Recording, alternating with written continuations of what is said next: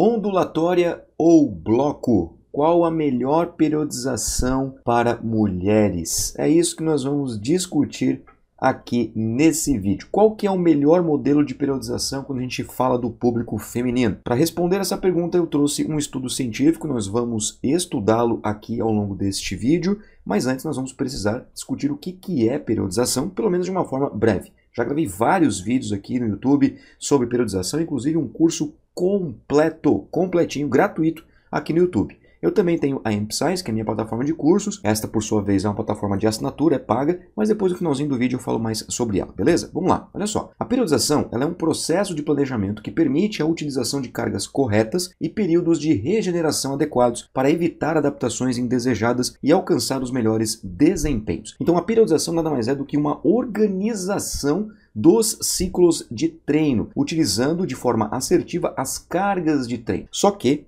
carga de treino não se entende apenas por peso dos exercícios. Nós podemos também oscilar o volume de treinamento, como por exemplo as séries, as repetições e até mesmo a quantidade de exercícios, e trabalhar outras variáveis de manipulação do treinamento de força de forma indireta na periodização, como por exemplo a velocidade da ação muscular, o intervalo entre as séries, entre outras variáveis. A intenção da periodização é sempre tentar evitar que o aluno, que o praticante, o atleta, enfim, obtenha algum tipo de adaptação indesejada, como por exemplo uma lesão.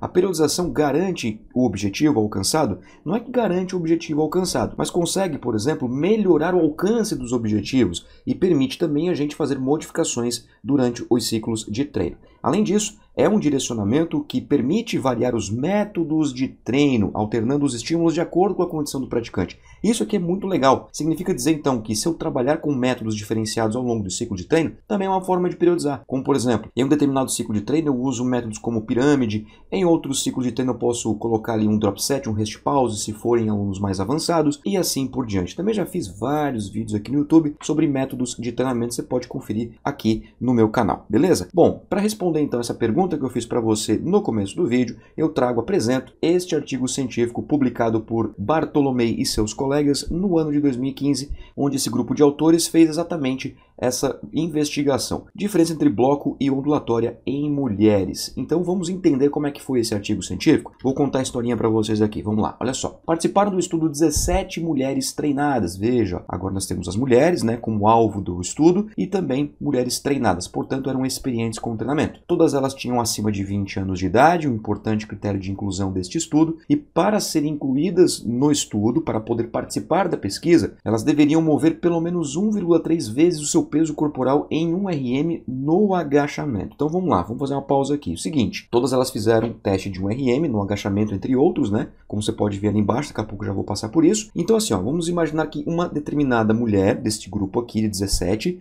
tivesse 50 kg de peso corporal, de massa corporal, peso de balança, ok? Imagine isso, 50. 1,3 vezes vai dar 65 quilos para uma repetição. Então essa mulher, para poder participar do estudo, teria que mover pelo menos, neste exemplo hipotético, 65 quilos, que é 1,3 vezes o peso corporal de 50, e assim por diante. Então, se uma tinha 55, ia ser 1,3 vezes 55. Se alguma mulher tinha 62, 62,1,3 e assim por diante foram divididas em dois grupos. Grupo bloco, carga de treino fixa em blocos de duas semanas, e o grupo ondulatória, carga de treino modificável a cada semana. Então as mulheres foram aleatoriamente colocadas nesses dois grupos. Os testes e as avaliações. Antropométrica, né, composição corporal, que a gente vai ver dado a dado, teste de um RM no agachamento, no deadlift e também no supino reto com barra. Além disso, fizeram também teste de potência, o teste de salto vertical. Essas foram as avaliações. Os exercícios, olha que interessante, todas elas fizeram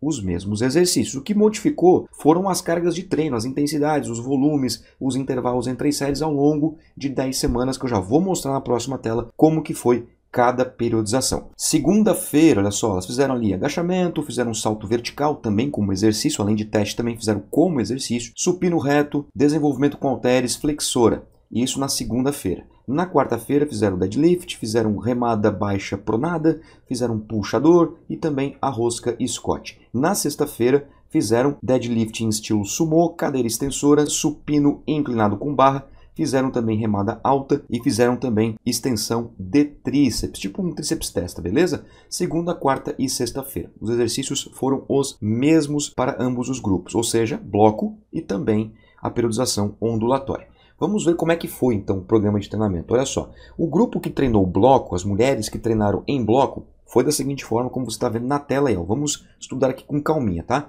Semana 1, semana 2. 5 séries de 10 repetições a 70% de uma repetição máxima com 1 minuto de intervalo. Em todos aqueles exercícios que eu mostrei na tela anterior. Segunda, quarta e sexta, naquele fracionamento. Na semana 3 na semana 4, 5 séries de 8 a 75% de um RM com um minuto de intervalo. Então teve um aumento do peso absoluto, né, porque percentualmente o RM aumentou, e teve uma redução do número de repetições para acompanhar essa interdependência entre volume e intensidade. Na semana 5 teve um deload, né, três séries de 6 repetições, veja que elas estavam fazendo 5 séries, caiu para 3, e veja que elas vinham de um bloco de duas semanas de 8 repetições, caiu para 6 e teve uma redução de 10% na intensidade relativa, né, no RM, ou seja, saindo de 75 para 65 e teve um aumento do intervalo também, de 1 para 2 minutos. Na semana 6 e na semana 7, 5 séries de 5 repetições, 88% de um RM, intensidade bem alta, né? com 3 minutos de intervalo. Na semana 8 e na semana 9,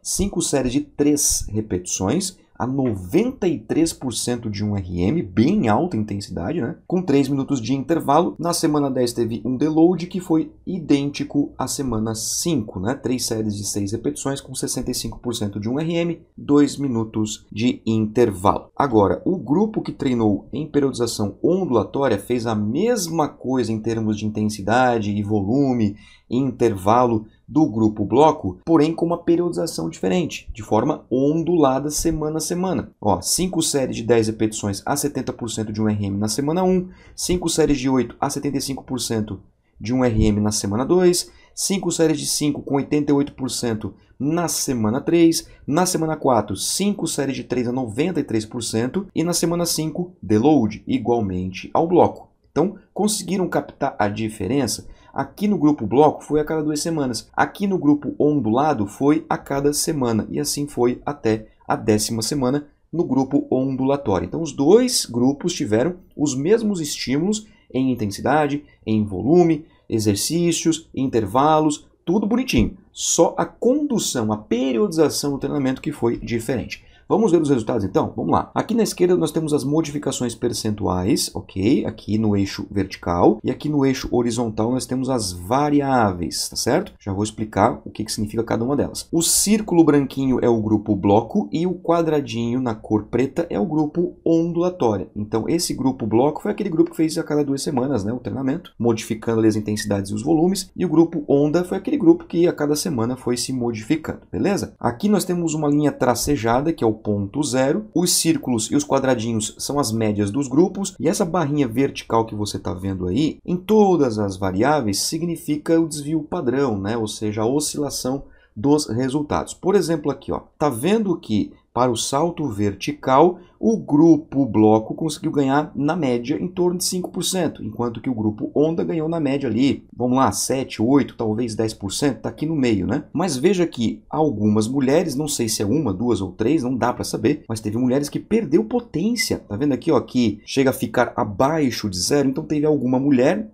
por exemplo, que perdeu ali 2% de potência de membros inferiores no grupo bloco. Agora, isso não aconteceu no grupo onda, todas elas ganharam alguma coisinha, né? Algumas até inclusive ganharam ali 15%. Já no agachamento, num RM no agachamento, na força máxima dinâmica no agachamento, olha que absurdo aqui, ó. Tá vendo aqui a média do grupo onda em torno de 27, 28%, o grupo bloco em torno de 15%. Então veja que o mínimo que uma mulher no grupo onda ganhou em relação ao agachamento foi quase igual à média do grupo bloco. Isso é bem interessante, né? No deadlift, pouquíssima diferença. Vocês vê que né, as barrinhas, tanto o círculo quanto o quadradinho, estão muito próximos um do outro, em torno ali de 20%, 22% para ambos os grupos. Para o supino reto, não. Olha só, para o supino reto, a média do grupo bloco, inclusive, ficou bem próximo de zero. É como se não tivesse quase nenhuma alteração na força de membros superiores, né? uma vez que o exercício supino reto também vai utilizar deltoide e tríceps braquial para fazer o movimento. O grupo bloco teve mulheres ali que perdeu mais de 5% na força máxima dinâmica no supino,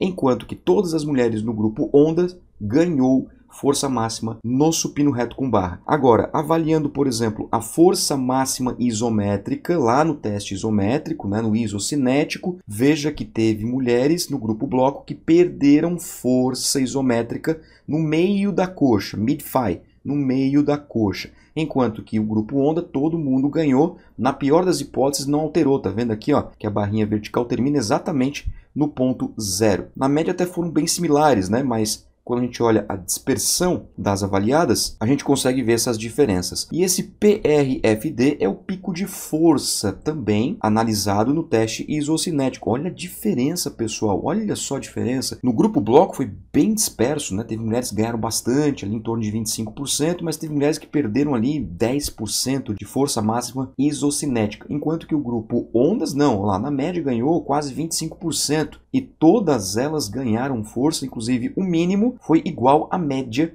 do grupo bloco. Teve mulheres que ganhou lá né, 40% de força máxima isométrica utilizando o modelo de periodização ondulatória. Agora vamos observar a composição corporal. Veja que a composição corporal é totalmente diferente, né? Mas vamos lá, ó. peso corporal tanto faz, pode ver que está bem parecido, pouco se alterou, também, né? 10 semanas, 3 vezes por semana, pouco vai se alterar mesmo. Em relação à massa muscular, também pouquíssima alteração e diferença entre os grupos, mas na massa gorda não. Olha aqui, na massa gorda, gordura de peso mesmo, né? O grupo que treinou ondas conseguiu perder na média ali 7, 8%. Algumas mulheres perderam até 10%, né, de massa gorda. Enquanto que algumas mulheres, não sei quantas, ó, pode ver que o finalzinho da barra vertical na sua parte superior ultrapassa o zero.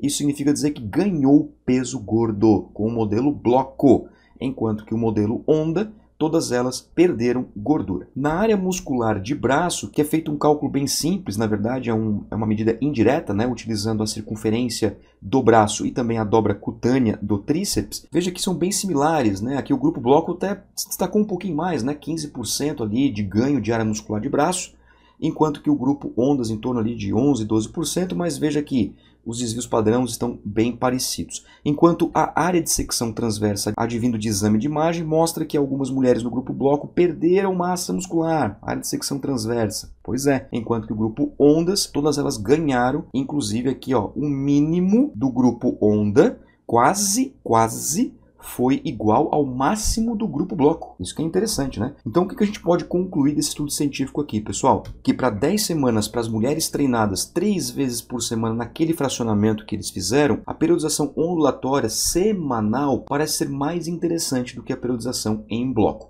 Então, oscilar as cargas de treino, volume, intensidade, intervalos que mexem na densidade do treino semana a semana para as mulheres parece ser bem interessante quando a gente pensa principalmente no ganho de força e no ganho de massa muscular, beleza? Agora, se você realmente quer aprender mais sobre periodização, métodos de treino do iniciante ao avançado e também aprender a avaliar o seu aluno, o que eu vou sugerir é a minha plataforma de curso, a MP Science Nesse momento já estamos com mais de 60 cursos, todos eles com especialistas, mestres e doutores. Não tem taxa de matrícula, não tem custo para certificado, está tudo incluído na assinatura. Faço pelo menos uma live por mês para assinantes que depois se tornam cursos lá dentro da plataforma. Nós temos suporte para todos os nossos alunos, sem contar uma biblioteca digital com quase mil artigos, e-books, entre tantos outros conteúdos para você realmente se tornar um especialista de verdade. E não é só curso na educação física, tá, pessoal? Também temos cursos na área da fisioterapia, da nutrição e da medicina. mpscience.com.br, o link tá na descrição, clica nele, vai lá, dá uma olhadinha, vê os cursos que tem